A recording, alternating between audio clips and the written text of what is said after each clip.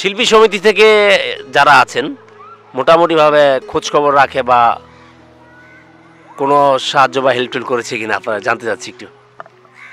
আসলে আমি এমন একটা জায়গায় থাকি যেখানে আমার সাথে কারোর সাথে কমিউনিকেশন নাই মানে যোগাযোগটা নাই।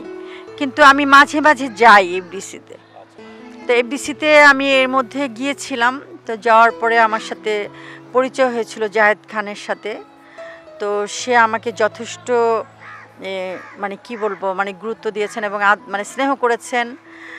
সে আমাকে অন্য অন্য যারা শিল্পী ছিলেন তাদের সাথে পরিচয় করে দিয়েছেন। তারপর সে আমাকে একটা হেল্পও করছেন।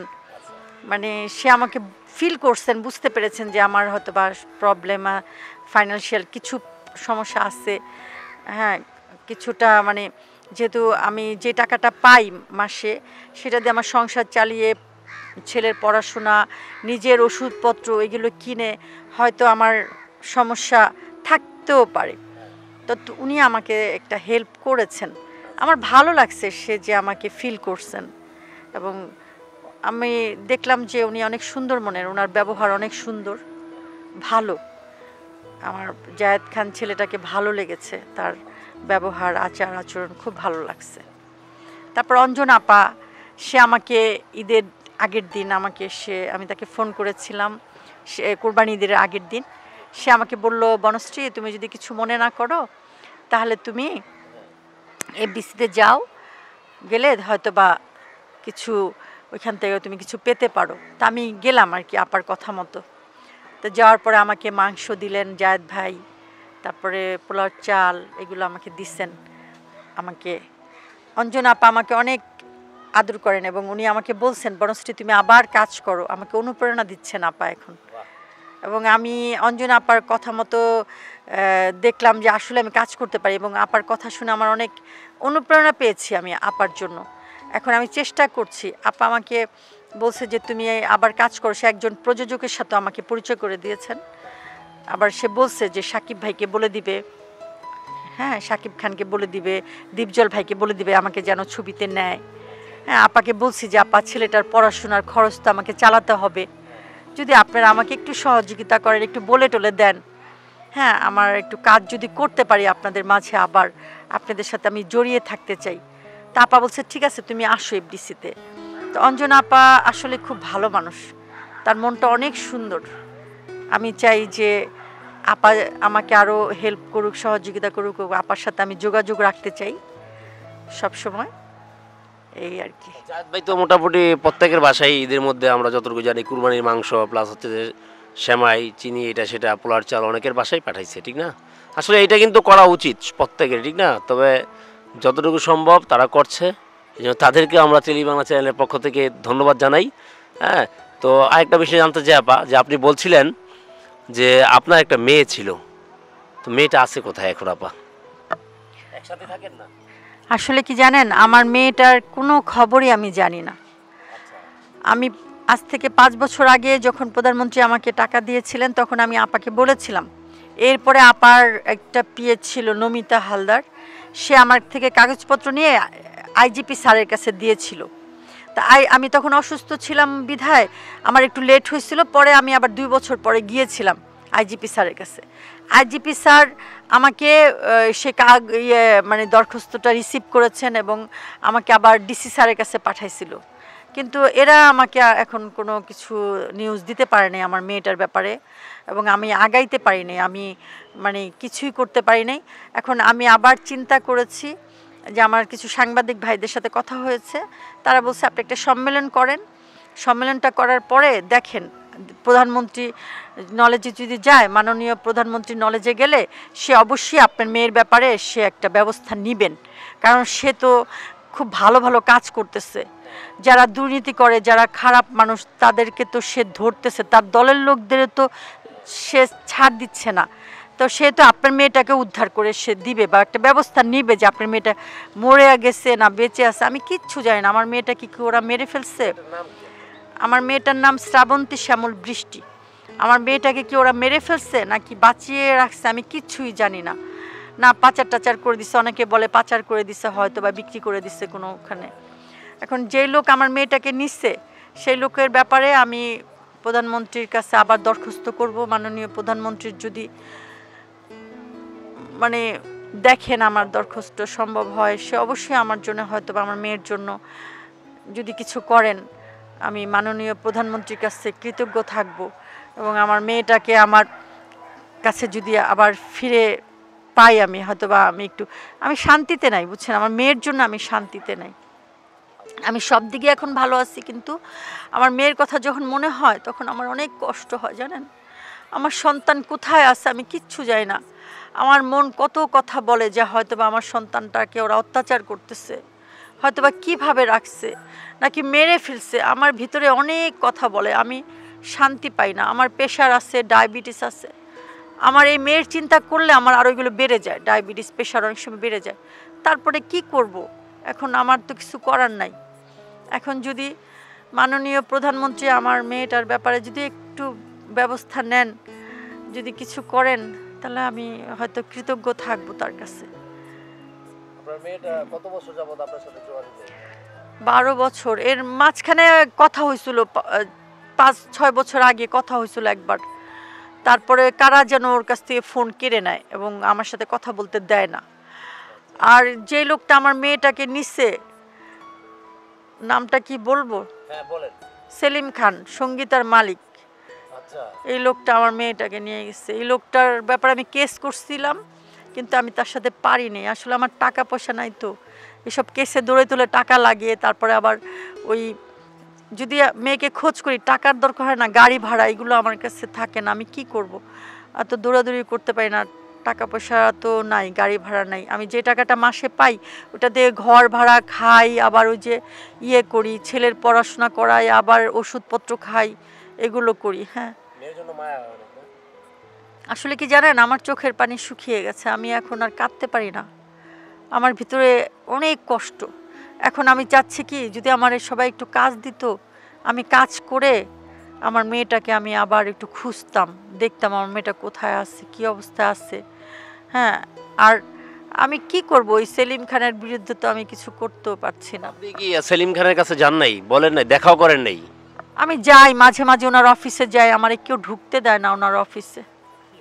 একটা মেয়ে এসে নিয়ে গেল। আপনি এইভাবে তো থানায় মামলাও করতে পারতেন। গলিতে আছে না, ওই যে বিজয়নগর, ওইখানে তার অফিস। কিন্তু আমাকে কেউ ঢুকতে দেয় না। মানে ওনার অফিসে ঢুকতে দেয় না। গেলে বলে উনি, নাই নাই।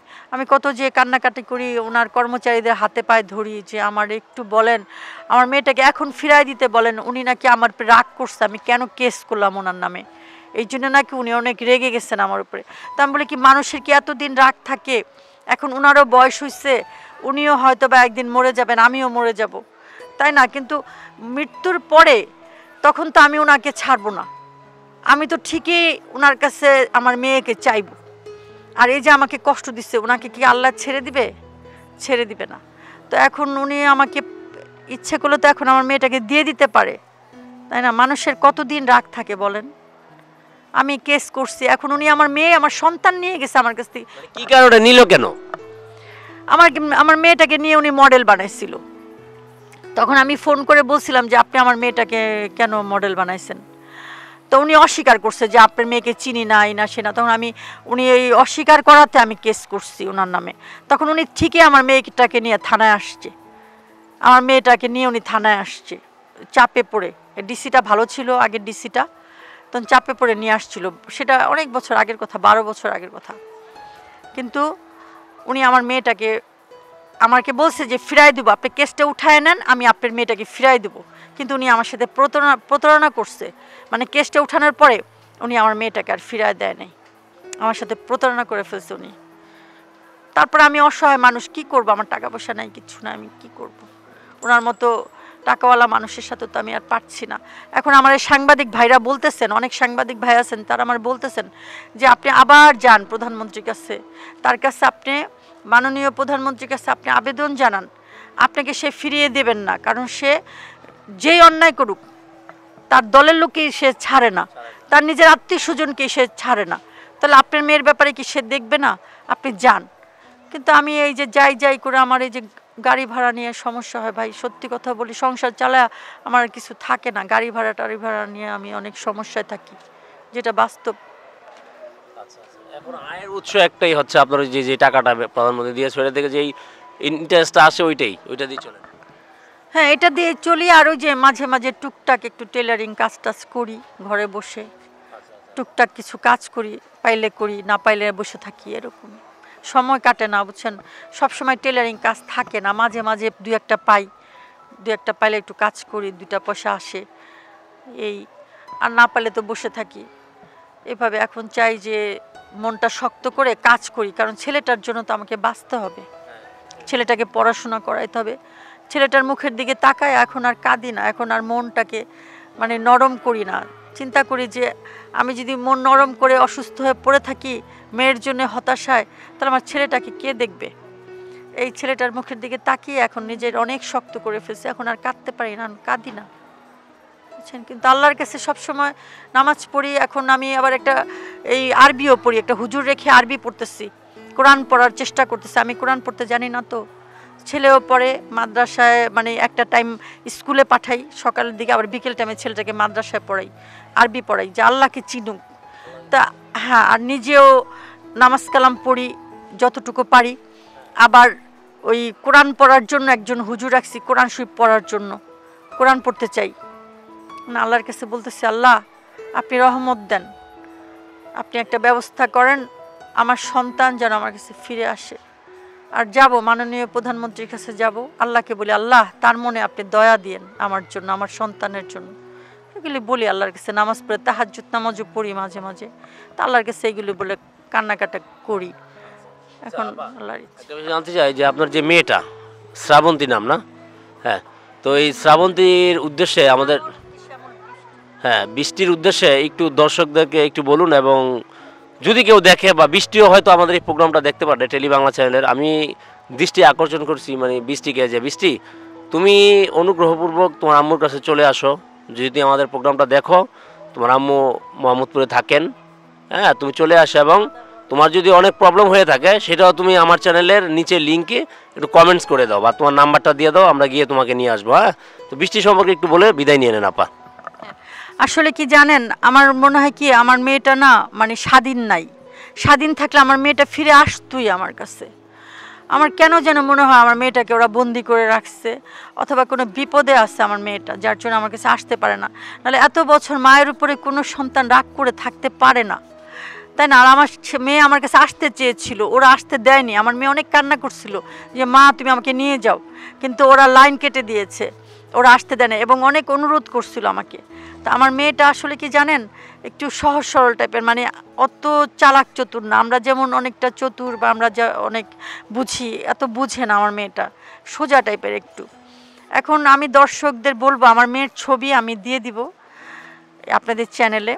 যদি কেউ কোথাও দেখে তাহলে আমাকে যদি একটু জানায়। আপনাদের চ্যানেলও জানাতে পারে বা আমার ফোন নাম্বার কি দেওয়া যাবে নাকি? এরকম? ফোন নাম্বার নিচে দিয়ে দেবো আচ্ছা।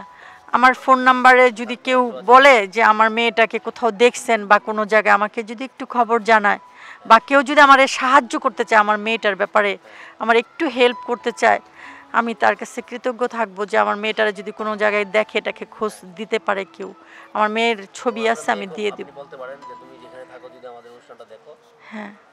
তো ছবিগুলো তো অনেক আগের মানে হ্যাঁ। মেয়ে যদি আজকের এই অনুষ্ঠানটা দেখে সে যেন এসে আপনার সাথে যোগাযোগ করে।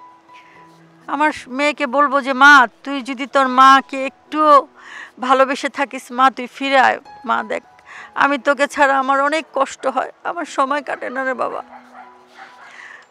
আমি আমার সন্তানের জন্য আমার যে কি কষ্ট। আমি একটা সন্তান হারা মা।